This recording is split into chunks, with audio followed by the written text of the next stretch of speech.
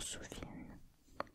Je corrige donc ma dédicace à Léon Wert quand il était petit garçon.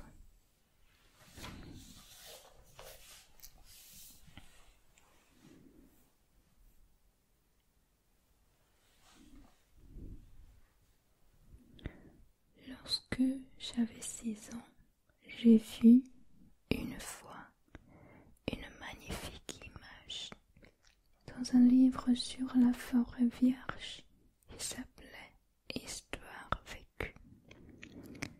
Ça représentait un serpent boa qui avalait un fauve. Voilà la copie du dessin. On disait dans le livre les serpents boa avalent leur proie tout entière, sans la mâcher.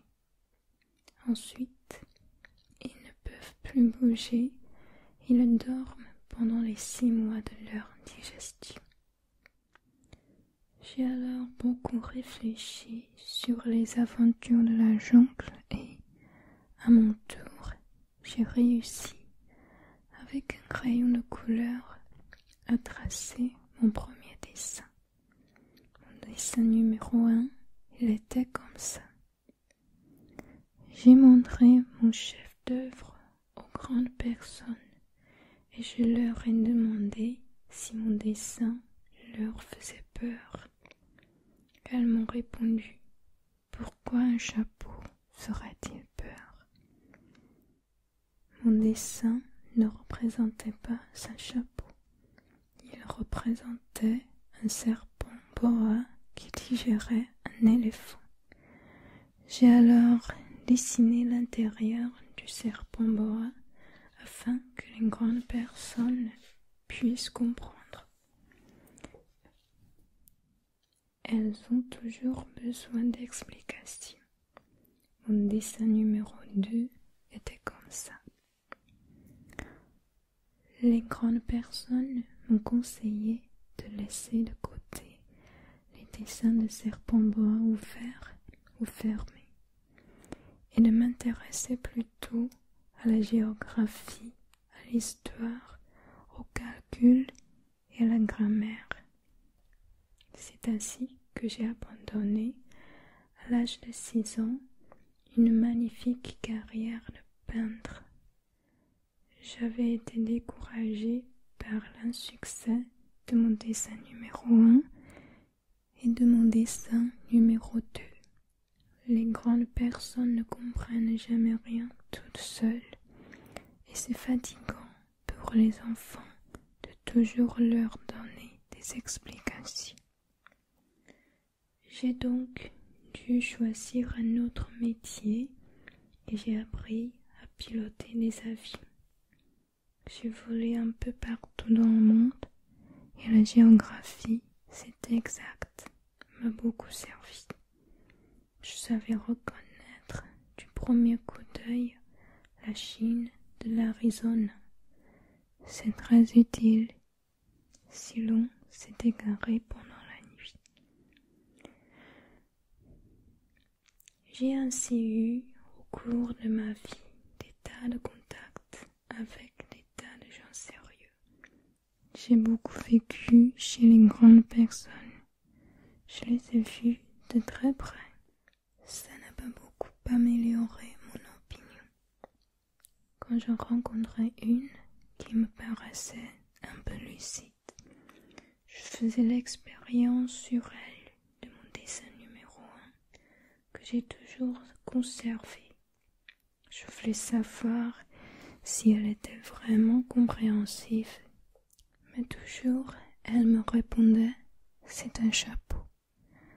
Alors je ne lui parlais ni de serpent boa, ni de forêt vierge, ni d'étoiles. Je me mettais à se porter. Je lui parlais de bridge, de golf, de politique et de cravate. Et la grande personne était bien contente de connaître un homme aussi raisonnable.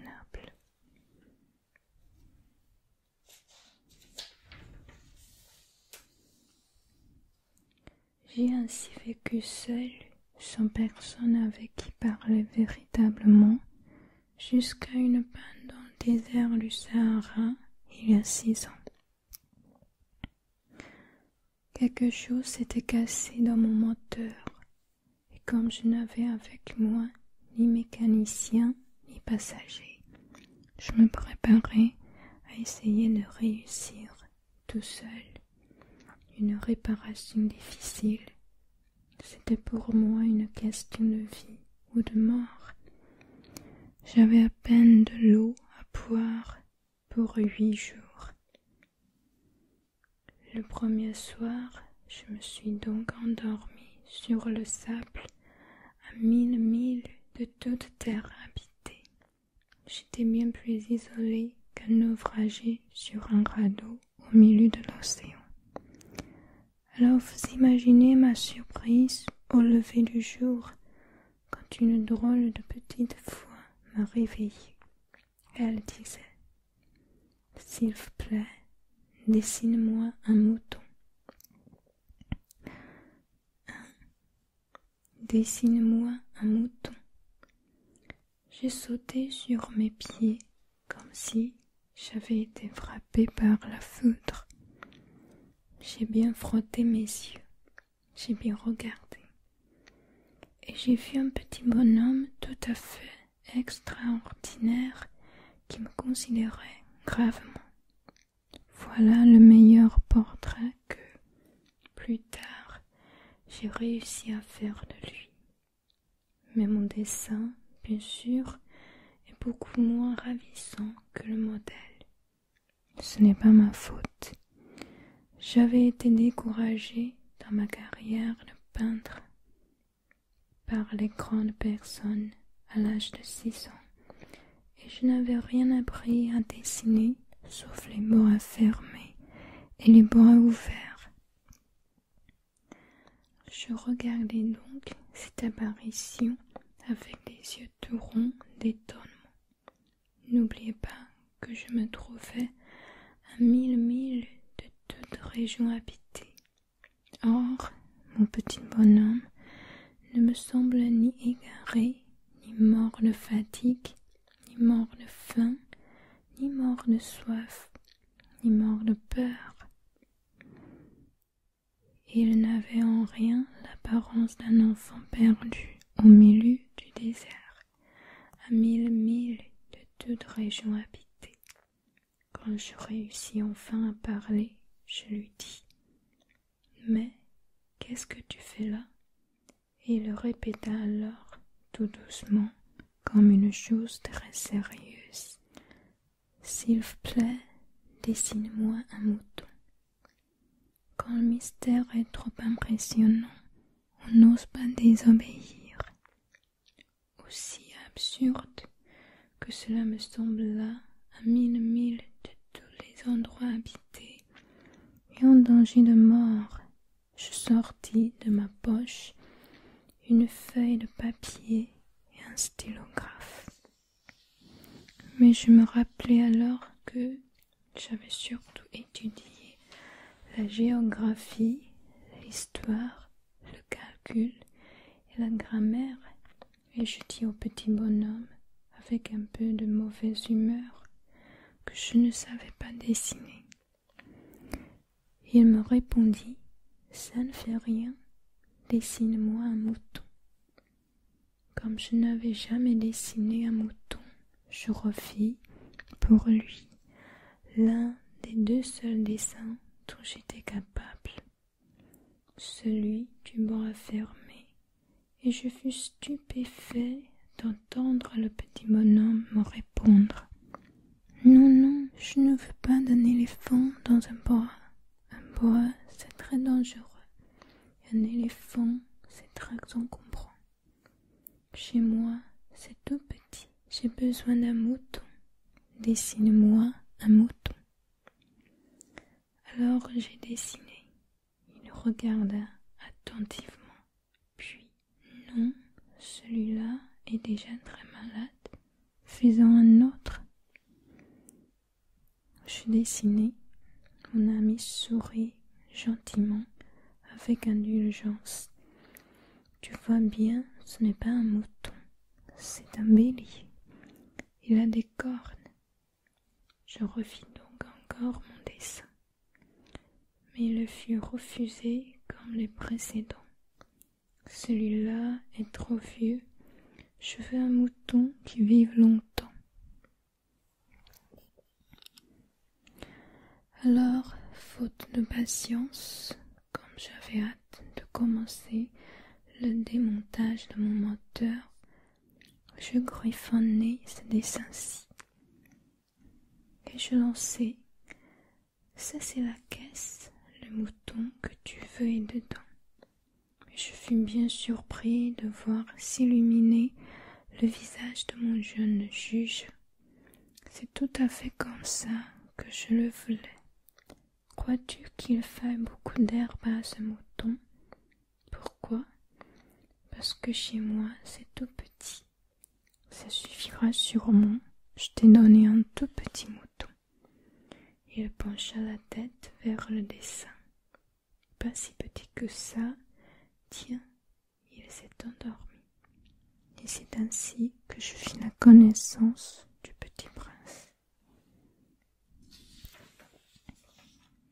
Il me fallut longtemps pour comprendre d'où il venait. Le petit prince, qui me posait beaucoup de questions, ne semblait jamais entendre les miennes. Ce sont des mots prononcés par hasard qui, peu à peu, m'ont tout révélé. Ainsi, quand il aperçut pour la première fois mon avion, je ne dessinerai pas mon avion c'est un dessin beaucoup trop compliqué pour moi. Il me demanda Qu'est-ce que c'est que cette chose-là? Ce n'est pas une chose, ça vole, c'est un avion. C'est mon avion. Et j'étais fière de lui apprendre que je volais. Alors il s'écria Comment tu es tombé du ciel? Oui, fis-je modestement. Ah, ça c'est drôle. Et le petit prince eut un très joli éclat de rire qui m'irrita beaucoup. Je désire que l'on prenne mes malheurs au sérieux. Puis il ajouta Alors, toi aussi, tu viens du ciel De quelle planète es-tu?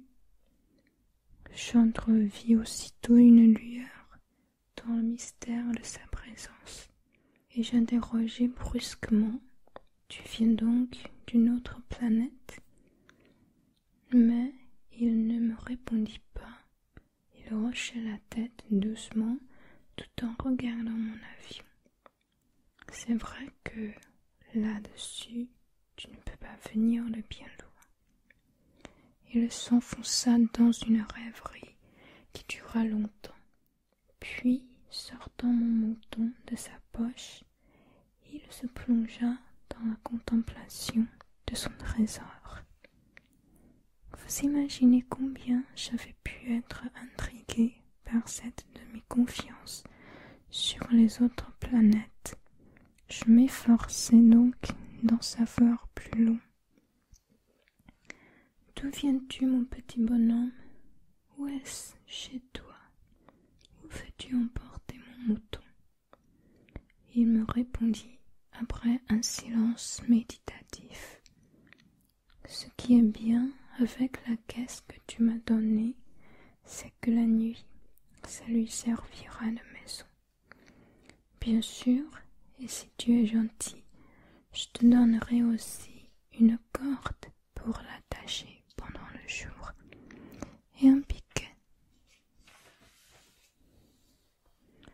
La proposition parut choquer le petit prince. L'attacher, quelle drôle d'idée. Mais si tu ne l'attaches pas, il ira n'importe où et il se perdra. Et mon ami eut un nouvel éclat de rire. Mais où veux-tu qu'il aille? N'importe où, droit devant lui. Alors le petit prince remarqua gravement. Ça ne fait rien, c'est tellement petit chez moi. Et avec un peu de mélancolie, peut-être, il ajouta Droit devant soi, on ne peut pas aller bien loin. J'avais ainsi appris une seconde chose très importante, c'est que sa planète d'origine était à peine plus grande qu'une maison. Ça ne pouvait pas m'étonner beaucoup.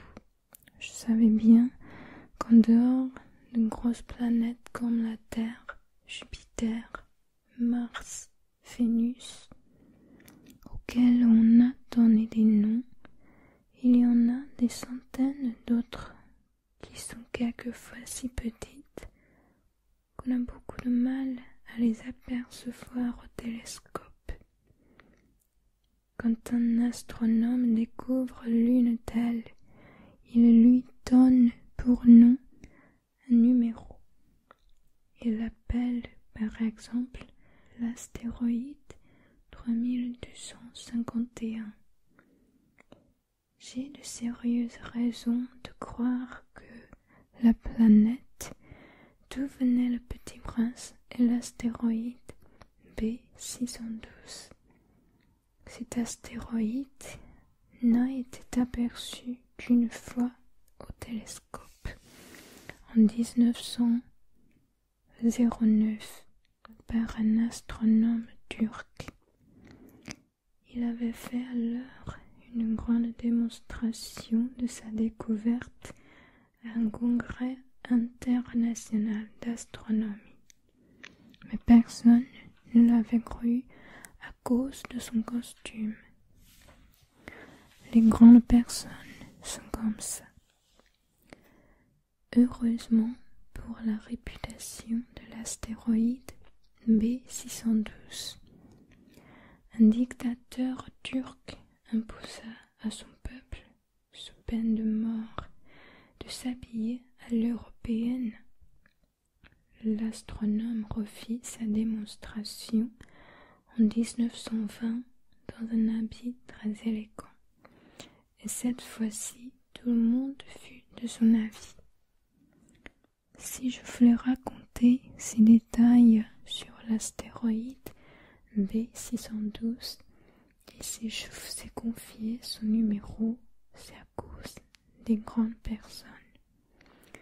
Les grandes personnes aiment les chiffres.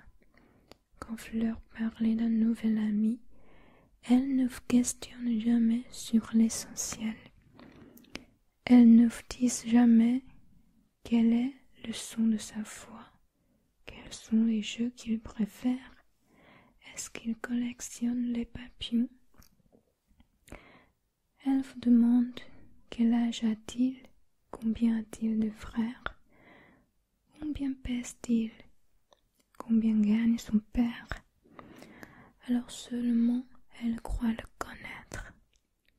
Si dites aux grandes personnes, j'ai vu une belle maison en briques roses, avec des géraniums aux fenêtres et des colombes sur le toit. Elles ne parviennent pas à s'imaginer cette maison. Il faut leur dire J'ai vu une maison de cent mille francs. Alors elles s'écrient Comme c'est joli.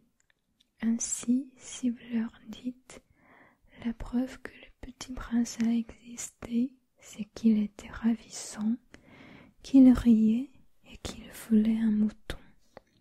Quand on veut un mouton, c'est la preuve qu'on existe. Elles hausseront les épaules et vous traiteront d'enfant. Mais si vous leur dites la planète d'où il venait l'astéroïde B612, alors elles seront convaincues, et elles laisseront tranquilles avec leurs questions. Elles sont comme ça. Il ne faut pas leur en vouloir. Les enfants doivent être très indulgents envers les grandes personnes. Mais, bien sûr, nous qui comprenons l'avion, nous nous manquons bien des numéros. J'aurais aimé commencer cette histoire à la façon des contes de fées. J'aurais aimé dire Il était une fois un petit prince qui habitait une planète à peine plus grande que lui et qui avait besoin d'un ami. Pour ceux qui comprennent la vie, ça aurait eu l'air beaucoup plus vrai. Car je n'aime pas qu'on lise mon livre à la légère. J'éprouve tant de chagrin à raconter ces souvenirs. Il y a déjà six ans que mon ami s'en est allé avec son mouton. Si j'essaie ici de le décrire, c'est afin de ne pas l'oublier. C'est triste d'oublier un ami. Tout le monde n'a pas eu un ami. Et je puis devenir comme les grandes personnes qui ne m'intéressent plus qu'aux chiffres. C'est donc pour ça encore que j'ai acheté une boîte de couleurs et de crayons. C'est dur de se remettre au dessin à mon âge, quand on n'a jamais fait d'autres tentatives que celle d'un bras fermé celle d'un bras ouvert à l'âge de six ans. J'essaierai bien sûr de faire des portraits le plus ressemblants possible, mais je ne suis pas tout à fait certain de réussir. Un dessin va et l'autre ne ressemblait plus. Je me trompe un peu aussi sur la taille. Ici, petit prince est trop grand, là, il est trop petit. J'hésite aussi sur la couleur de son costume, alors je tâtonne comme ci et comme ça, tant bien que mal. Je me trompais enfin sur certains détails plus importants. Mais ça, il faudra me le pardonner. Mon ami ne donnait jamais d'explication. Il me croyait peut-être semblable à lui. Mais moi, malheureusement, je ne sais pas voir les moutons à travers les caisses. Je suis peut-être un peu comme les grandes personnes. J'ai dû vieillir